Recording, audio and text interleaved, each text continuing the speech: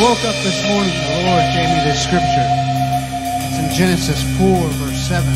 It was when um, the Lord was speaking to Cain. And he said, You will be accepted if you do what is right.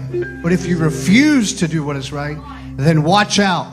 Sin is crouching at the door, eager to control you, but you must subdue it and be its master. So, Lord,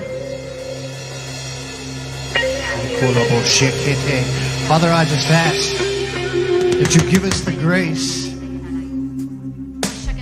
to subdue sin, to take dominion over the earth.